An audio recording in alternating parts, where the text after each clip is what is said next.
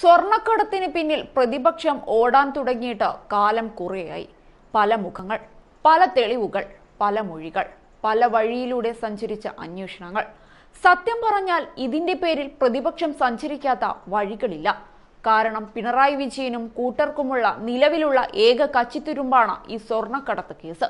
അതുകൊണ്ട് തന്നെ എത്ര വർഷം ഇതിന് പിറകെ നടന്നാലും പ്രതിപക്ഷത്തിന്റെ ആരോപണങ്ങൾക്ക് ഒരു പഞ്ഞവും ഉണ്ടാകില്ല സ്വർണക്കടത്തിലെ വമ്പന്മാരെ കണ്ടെത്താനുള്ള നീക്കം ഇപ്പോൾ പ്രതിപക്ഷത്തെ വീണ്ടും നിയമസഭയിൽ എത്തിച്ചിരിക്കുകയാണ്. സത്യം പറഞ്ഞാൽ തുടക്കവും ഒടുക്കവും ഒക്കെ വാക്കുപോരിലായിരുന്നു. സ്വർണക്കടത്തെന്ന ആയുധം താഴെ വെക്കാൻ പ്രതിപക്ഷമേതായാലും തയ്യാറല്ല. ആ ആയുധത്തിന് മൂർച്ച കൂട്ടിയാണ് പ്രതിപക്ഷം നിയമസഭയിലെത്തിയത്.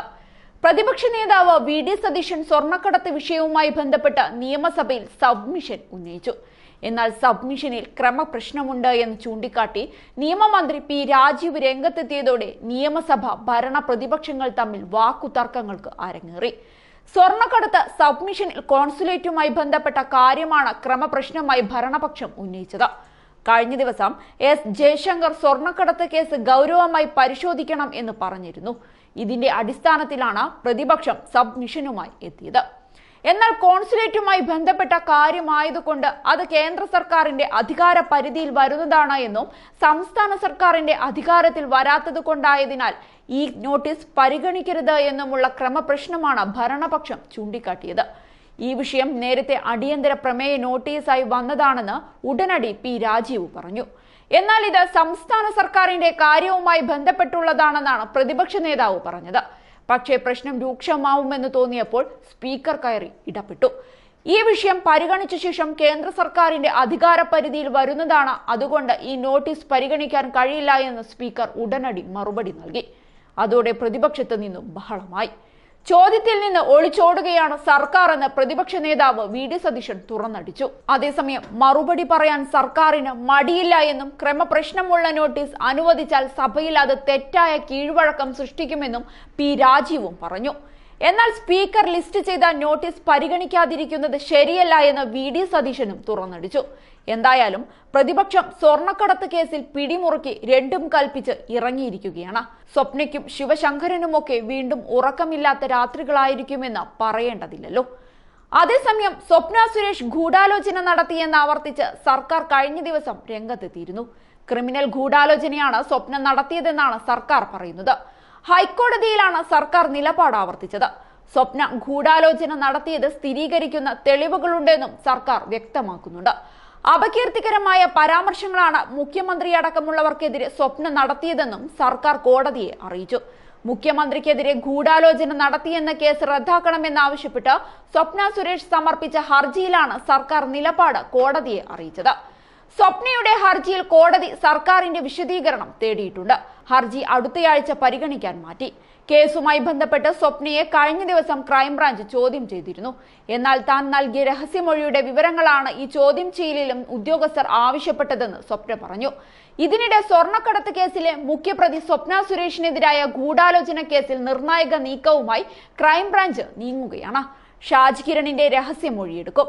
പാലക്കാട് കോടതിയിൽ വെച്ചാണ് രഹസ്യമൊഴിയെടുക്കുക. നാളെ വൈകിട്ട് മൂന്നിന് Palakkad judicial first class magistrate കോടതി മുന്നിലെത്തി മൊഴി നൽകണമെന്നാണ് നിർദ്ദേശം.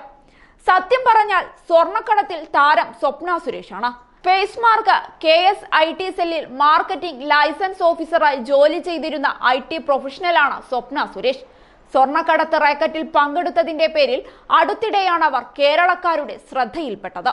രണ്ടായിരത്തി ഇരുപത് ജൂലൈയിൽ കസ്റ്റംസ് വകുപ്പ് തിരുവനന്തപുരം വിമാനത്താവളത്തിൽ നിന്ന് മുപ്പത് കിലോഗ്രാം സ്വർണം നയതന്ത്ര ബാഗേജിൽ നിന്ന് പിടിച്ചെടുത്തു. ഈ കേസുമായി ബന്ധപ്പെട്ടാണ് സ്വപ്ന സുരേഷ് കുപ്രസിദ്ധമാകുന്നത്. ആയിരത്തി തൊള്ളായിരത്തി എൺപത്തിയൊന്ന് ജൂൺ നാലിന് ജനിച്ച തിരുവനന്തപുരം സ്വദേശി സ്വപ്ന സുരേഷ് ഹിന്ദു കുടുംബത്തിലാണ് ജനിച്ചതും വളർന്നതും. ജനിച്ച സമയത്ത് അബുദാബിയിൽ സ്ഥിര താമസമാക്കി ജന്മനാട്ടിലെ ഒരു സ്വകാര്യ സ്കൂളിൽ നിന്ന് ആദ്യകാല സ്കൂൾ വിദ്യാഭ്യാസം പൂർത്തിയാക്കി. പിന്നീട് ഒരു സ്വകാര്യ സർവകലാശാലയിൽ നിന്ന് ബിരുദ കോഴ്സ് പൂർത്തിയാക്കിയതായി അവകാശപ്പെടുകയും ആ ബിരുദ സർട്ടിഫിക്കറ്റ് വ്യാജമാണെന്ന് കണ്ടെത്തുകയും ചെയ്തിരുന്നു. തിരുവനന്തപുരത്തെ എയർപോർട്ട് സർവീസ് സ്ഥാപനമായ എയർ ഇന്ത്യ സ്റ്റാറ്റ്സുമായി എച്ച് ആർ എക്സിക്യൂട്ടീവായി ചേർന്നു. വനിതാ ജീവനക്കാരുടെ ഒപ്പുകൾ വ്യാജമായി നൽകി ലൈംഗിക പീഡന കേസിൽ എയർപോർട്ട് സ്റ്റാഫിനെതിരെ സ്ഥാപനത്തിലെ മറ്റൊരു മുതിർന്ന എക്സിക്യൂട്ടീവുമായി ഗൂഢാലോചന നടത്തിയെന്നാണ് ഒരു ആരോപണം. ഇതിനെക്കുറിച്ച് അന്വേഷണം ആവശ്യപ്പെട്ട് സ്വപ്ന സുരേഷ് വ്യാജനാമത്തിൽ പതിനേഴ് പരാതികൾ തയ്യാറാക്കിയിരുന്നു. പിന്നീട് സംസ്ഥാന പോലീസിൽ പരാതി നൽകി. സ്വപ്ന സുരേഷിനെ പ്രതിയായി ലിസ്റ്റ് ചെയ്തിരുന്നുവെങ്കിലും അവളുടെ സ്വാധീനം കാരണം അന്വേഷണം പാളം തെറ്റുകയായിരുന്നു. രണ്ടായിരത്തി പതിനാറിൽ U A E consulate general office സംസ്ഥാന തലസ്ഥാനത്ത് തുറന്നപ്പോൾ അവർ അവിടെ ചേർന്നു. എമിറേറ്റുകളോടുള്ള സമ്പർക്കവും അറബി ഭാഷാ പരിജ്ഞാനവും അവർക്ക് അവിടെ പിടിച്ചു നിൽക്കാൻ സാധിച്ചു. കേരളത്തിൽ നിന്ന് ലക്ഷക്കണക്കിന് പ്രവാസികളുടെ കേന്ദ്രമായ യു എയുമായി കേരള സർക്കാർ നല്ല ബന്ധം പുലർത്തുന്നതിനാൽ കോൺസുലേറ്റിലെ പ്രാദേശിക ഉദ്യോഗസ്ഥരുടെ പ്രശംസ അവർ പിടിച്ചുപറ്റി ഐ എ എസ് ഉദ്യോഗസ്ഥർ രാഷ്ട്രീയക്കാർ സർക്കാരിലെ മറ്റു പല ഉന്നത ഉദ്യോഗസ്ഥർ എന്നിവരുമായി ബന്ധം പുലർത്തുന്ന ഒരു സ്ത്രീയായിരുന്നു അവർ. സ്വർണക്കടത്ത് കേസിൽ ഇനിയും അവതാരങ്ങളുണ്ട്. സന്ദീപ് നായർ സരിത ഫൈസൽ ഫരീദ് എം ശിവശങ്കർ. തുടങ്ങിയവരൊക്കെ കേരളത്തിൽ ഈ കേസിലൂടെ അറിയപ്പെട്ട വ്യക്തികളാണ്. പക്ഷേ കേസിലെ സ്റ്റാർ സ്വപ്ന സുരേഷ് എന്നതിൽ യാതൊരു തർക്കവുമില്ല. എന്തായാലും സ്വർണക്കടത്ത് കേസ് എവിടെ വരെ പോകുമെന്ന് കാത്തിരുന്നു കാണാം.